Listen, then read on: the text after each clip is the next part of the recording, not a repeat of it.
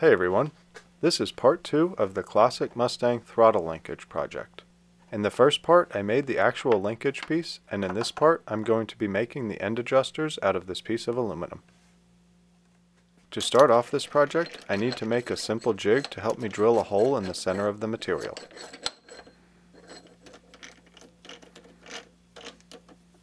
I don't remember where I saw this trick, but this is a quick and easy way to ensure a hole drilled perpendicular to the part is exactly centered.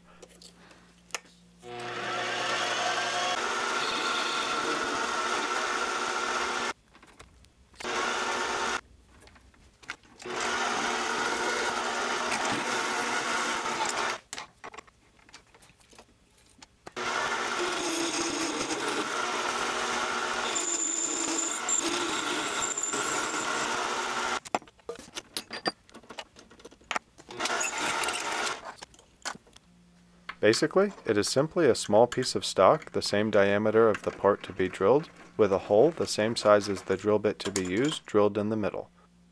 And it's really easy to make an accurate version of this jig on the lathe.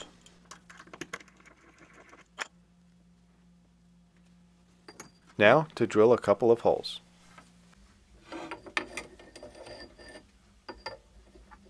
To make sure the hole is in the center of the stock, just clamp the jig on top of the part in the vise with the hole in the jig positioned where the hole in the part needs to be.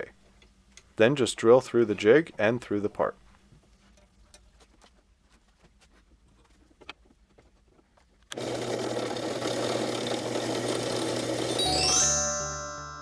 It's so nice to have so many subscribers now.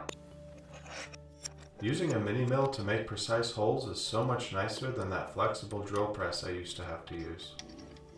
I could probably even make slotted parts on this thing. Why did I ever wait so long to get a mill anyway?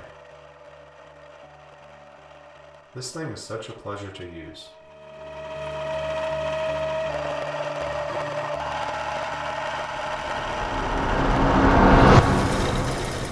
Whoa, what happened? That's what I get for daydreaming, I guess. Anyway, now that the part has two holes drilled and tapped with 3 8 by 16 TPI thread, I can move on to actually making the end adjusters out of it. As a side note, I really like this deburring tool, and while I probably didn't have to deburr these holes before they went on the lathe, I was curious to see how it would work on a threaded and curved hole, and it seemed to work nicely without damaging the threads.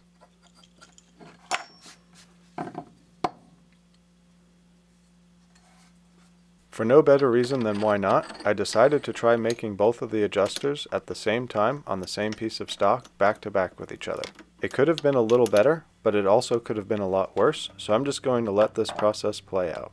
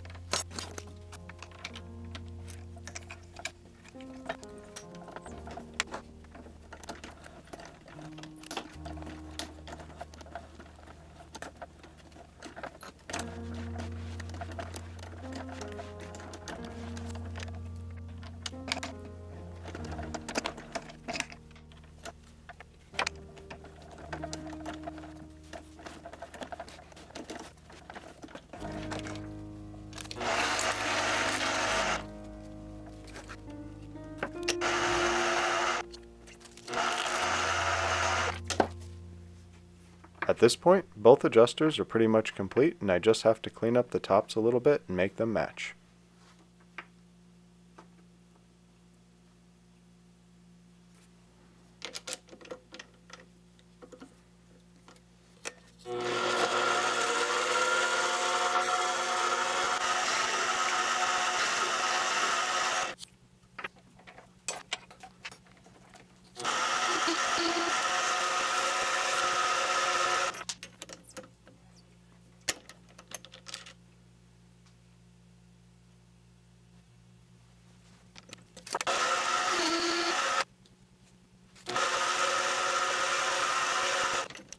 And that's it. The end adjusters for the linkage project are done. I really like how they turned out and how similar they ended up being to each other. The threads are all clean and there's just enough shoulder to hold a bushing later on. They will work by threading onto the ends of the linkage and providing holding strength, but also the ability to adjust the effective length of the linkage. Stay tuned for the next part, which will be the making of the bushings and the installation. Thanks so much for watching. Be sure to check the links in the description to items I use, as well as my Instagram and Facebook for behind the scenes content. Hit that thumbs up if I should daydream more often. Comment if you thought that was a weird way to make parts, and be sure to subscribe if you aren't already.